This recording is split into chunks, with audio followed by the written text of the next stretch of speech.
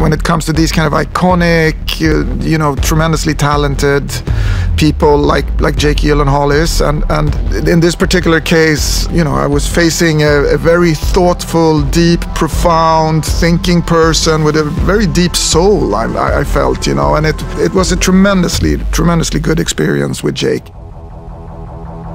In the middle of everything that is going on in the world, I think to be in a space with a group of people again. To me, that's like, that's the wonderful thing. It's memorable to be able to come here and be safe and work with a group of people, and I will not forget that ever.